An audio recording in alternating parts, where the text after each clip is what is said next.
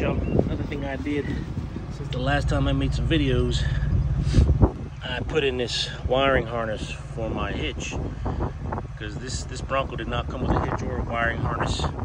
And I wanted that because I have a trailer that I told mulch and occasionally we haul shit in. So this was way more of a pain in the ass to install than my fog lights because I had to run it from the battery all the way back here. Go ahead and close this up. And it was a pain because I had to climb up under this damn vehicle.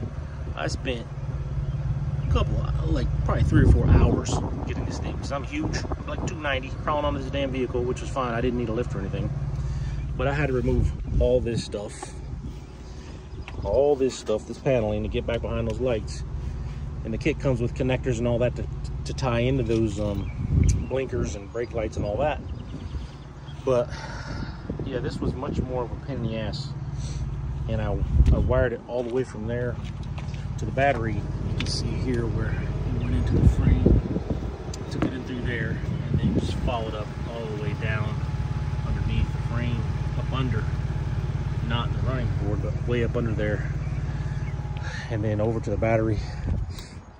And this is something that I needed because my other truck has it, but I'm probably gonna get rid of it.